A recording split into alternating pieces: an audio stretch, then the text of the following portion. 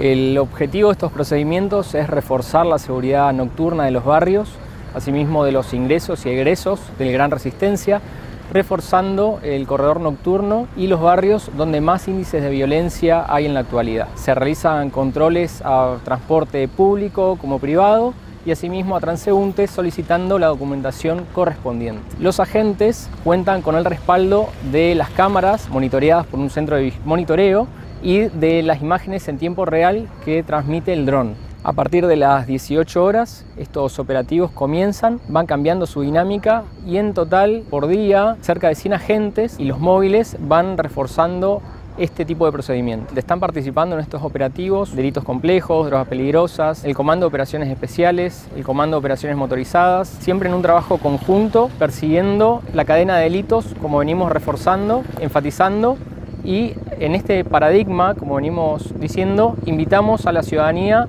a denunciar.